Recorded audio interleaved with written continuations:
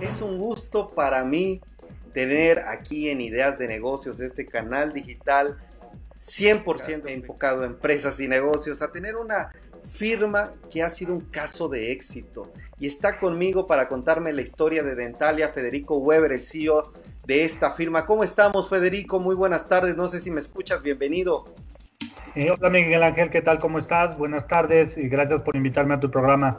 No, hombre, gracias a ti. Federico, como historia de éxito, platícanos. Número uno, ¿cómo surge Dentalia? ¿Por qué surge? Y bueno, luego te voy haciendo unas preguntas sobre todo en la propuesta de valor que trae, pero platícame de qué necesidad nace y cómo surge, por favor.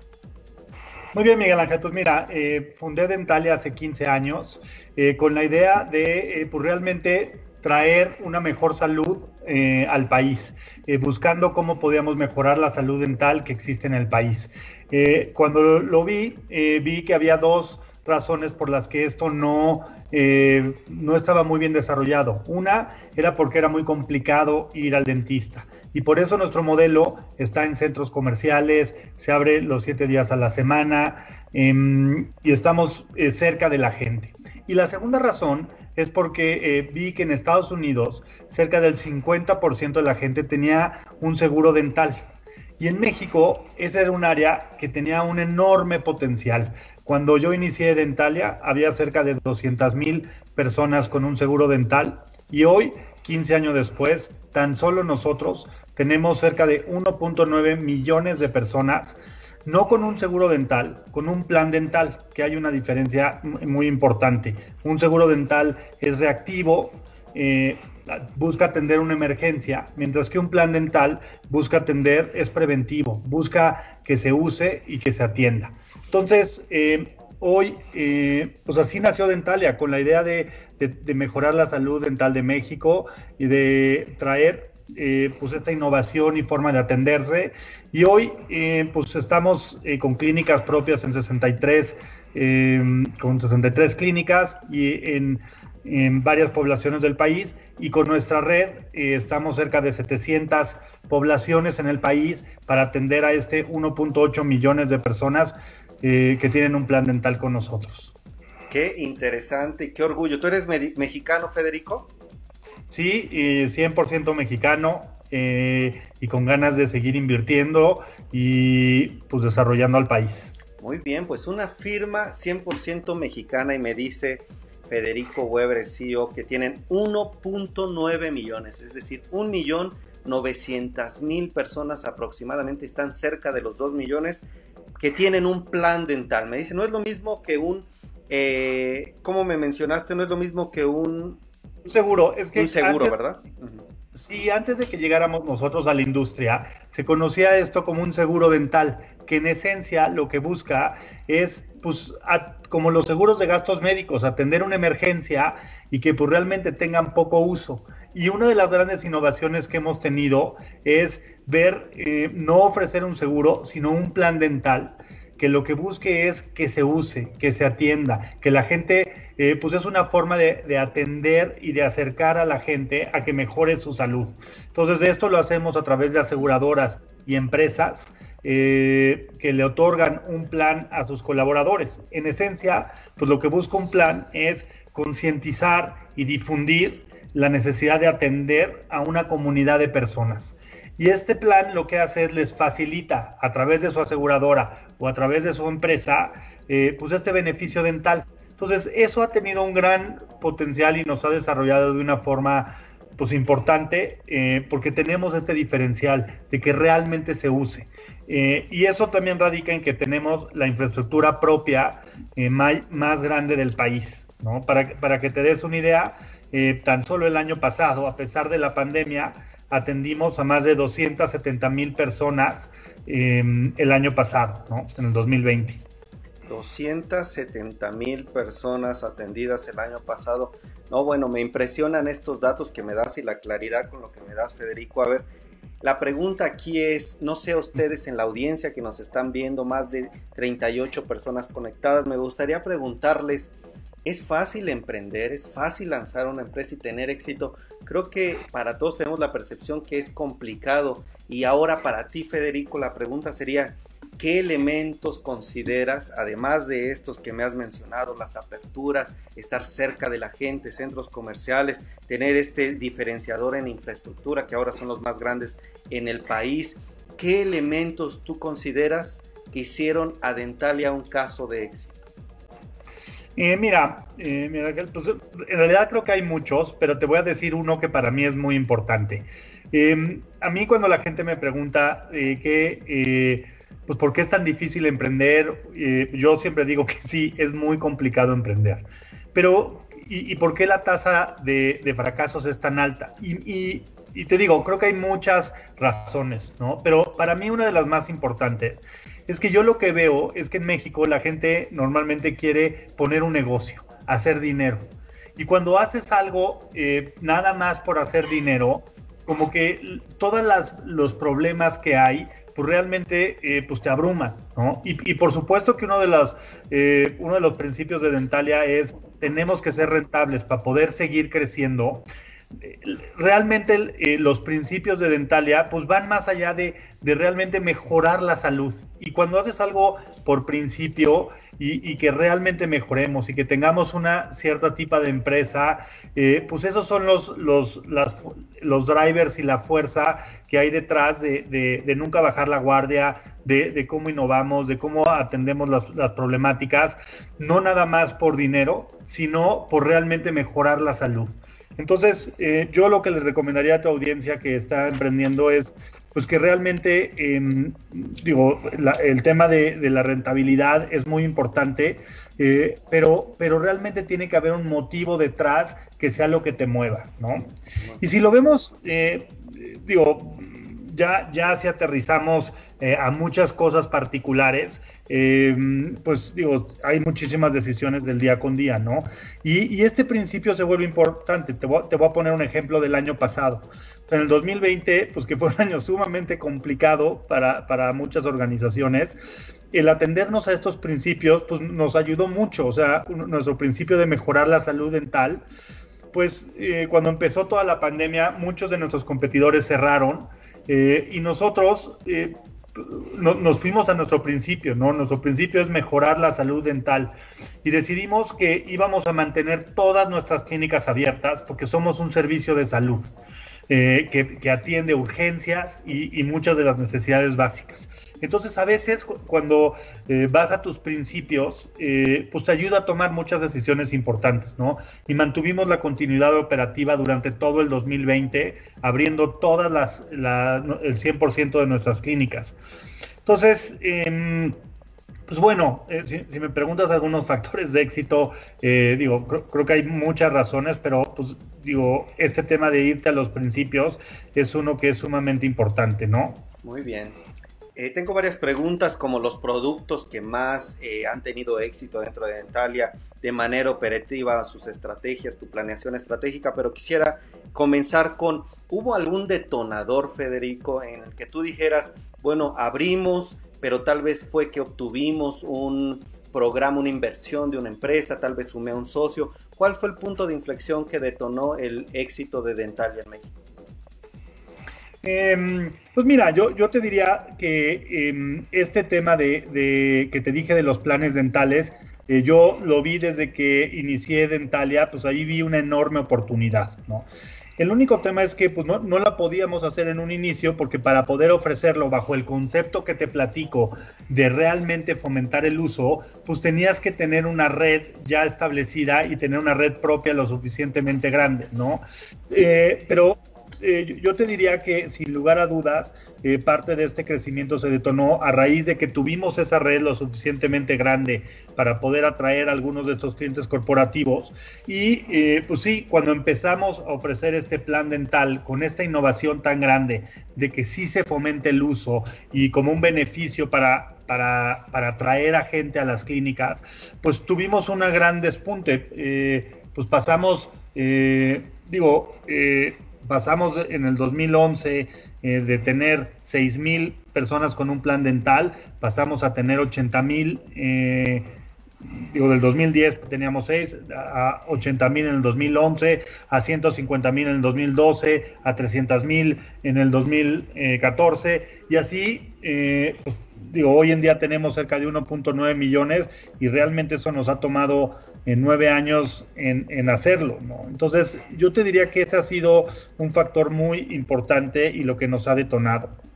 Em, Adelante. No, eh, o sea, si tocas un punto en específico es esta innovación que hay, que hemos hecho en el mercado y de fomentar el uso y de acercarlo versus ser un seguro. Excelente. ¿Qué productos, Federico? ¿Cómo funciona? ¿Cómo nos podemos acercar?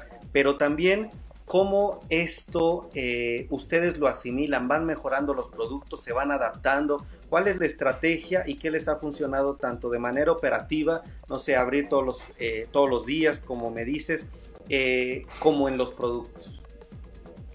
Em, a ver, digo, ¿qué nos ha ayudado? Pues un claro enfoque en nuestros pacientes y nuestros clientes corporativos.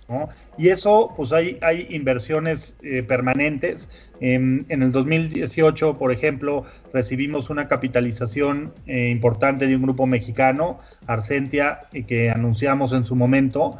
Y esa capitalización fue para renovar y el 100% de nuestras clínicas e invertir en, nuevas tecnologías y nuevos procesos eh, hacia nuestros eh, pacientes. Entonces hoy en día pues tenemos una nueva forma de atender con equipo y tecnología de punta eh, con un centro eh, centralizado, o sea, te hacemos un diagnóstico con tecnología de punta, eh, viaja hacia nuestro centro de diagnóstico y en media hora regresa y te podemos hacer un diagnóstico. Entonces, ese tipo de cosas y, de una constante inversión que hemos estado haciendo, pues sin lugar a dudas ha, tenido un impacto en, en nuestros resultados de forma muy importante. Muy bien, interesante esto que me estás planteando. Y entonces, en cuanto a precios, me están preguntando, gracias Alma Flores, que nos están comentando eh, los requisitos, cuánto cuestan eh, los planes, un poco el detalle ya. ¿Cuál sería, eh, Federico? Mira, hay dos formas de que te puedes acercar con nosotros. Una, eh, tenemos, nuestras clínicas están en centros comerciales, entonces tú puedes llegar y atenderte eh, y te damos servicio. Puedes hacer una cita por teléfono, puedes ir presencialmente y, y, hacer una cita en nuestras clínicas y no necesitas tener ningún plan. Esa sería una forma de atenderte con nosotros. La otra forma sería que a través de tu empresa o tu aseguradora eh, tengas este plan. O sea, no, vendemos planes directamente, tendría que ser a través de tu empresa. Entonces, eh, también eh, si, le pueden invitar al director de recursos humanos de la empresa que, pueda otorgar esto como una prestación. Em, entonces, la otra forma, y este 1.9 millones de personas tiene este plan dental vía a través de su aseguradora o vía a través de una prestación que le da su empresa. Entonces, esas son las dos formas que, te puedes acercar con nosotros, ¿no?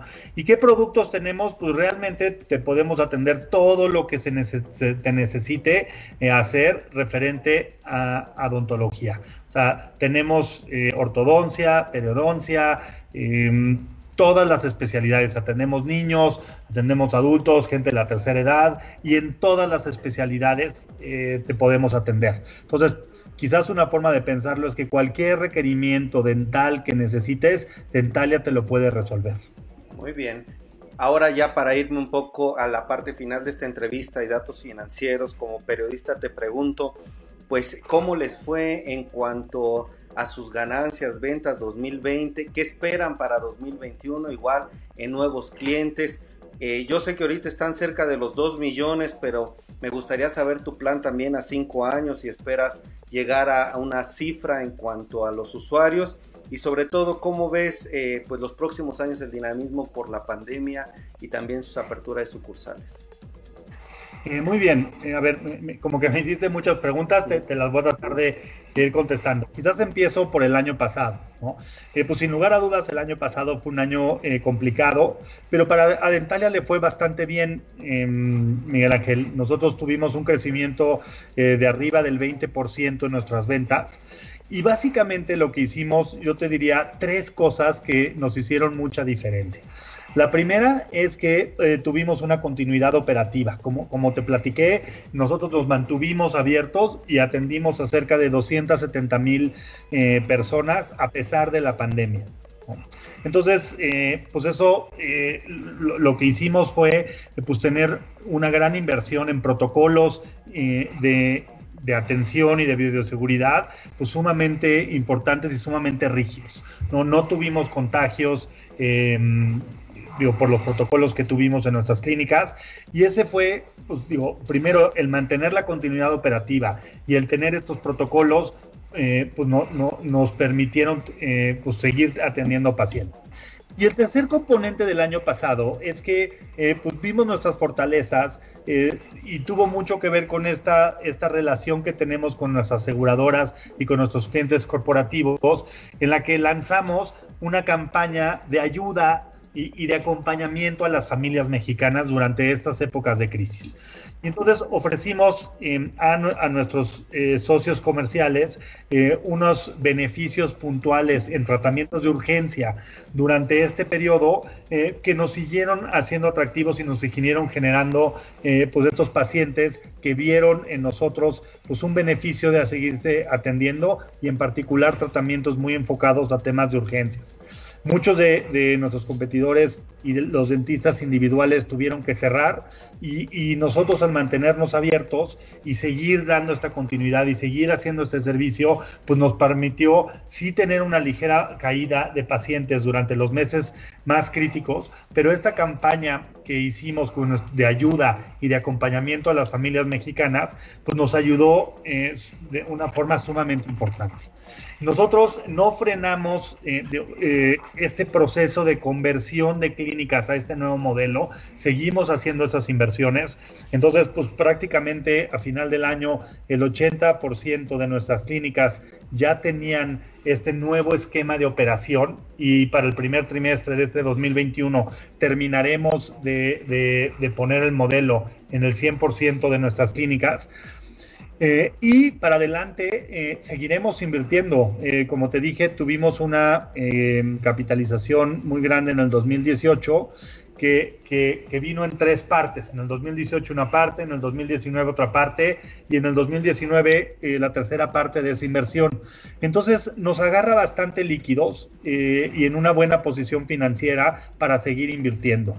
Eh, claro, vamos a revisar ese plan de expansión que teníamos quizás sumamente agresivo en su momento y, lo, y estamos en proceso de revisarlo, pero vamos a seguir expandiéndonos. Eh, tan solo tenemos en puerta tres em, remodelaciones y reubicaciones de clínicas en el primer trimestre de este año que estamos por abrir y, vamos a seguir continuando esa expansión. Vemos que en México hay una enorme oportunidad. De seguir expandiéndonos. Y em, pues la pandemia, eh, como nos agarra en una buena posición financiera y, solidificados por un, un, sólido 2020, pues lo aprovecharemos. También estamos viendo oportunidades en centros comerciales, quizás algunos, algunas plazas que nos había costado trabajo entrar, pues estamos viendo mayor apertura en estos momentos a que podamos entrar y Dentalia va a seguir capturando esas oportunidades para el futuro, ¿no? Y la meta de Dentalia pues es realmente darle atención a millones de personas. Estos, estos 1.9 millones de personas eh, no necesariamente son gentes que se atienden con nosotros, son gente que nos paga un plan dental, pero no todos lo usan.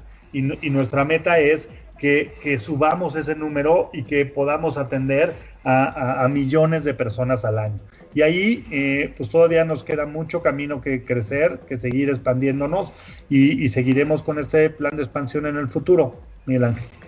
Pues la verdad es que me has dado datos. Ahora entiendo por qué la diferencia entre eh, la atención de 260 mil alrededor personas al 1.9, porque es este grupo que se atiende. Eh, pues la verdad es que me dices, estamos, sí queremos expandirnos, estamos líquidos, tenemos la fuerza.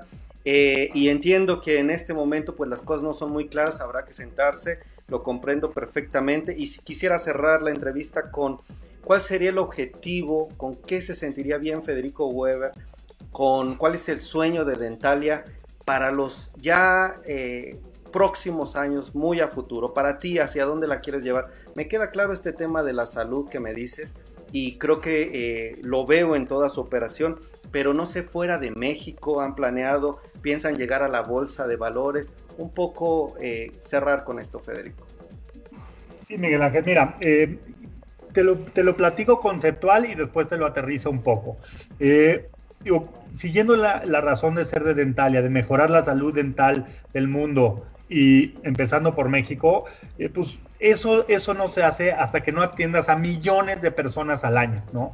Entonces, todavía estamos lejos de esa meta. Eh, digo, el, 2020 fue un año que atendimos a menos pacientes de lo, de lo normal, pero, pero ahí todavía hay mucho camino que crecer, ¿no? Entonces, conceptualmente lo que te platico es, eh, atender a millones de personas al año y, la misión de Dentalia es mejorar la salud dental del mundo, no, no de México. Entonces, también ahí te contexto, pues que sí, Dentalia eventualmente se va a expandir, va a ir hacia otros países, vemos más hacia abajo, hacia Latinoamérica, porque en el norte hay otras dinámicas, em, pero, pero vemos primero nuestra expansión hacia abajo.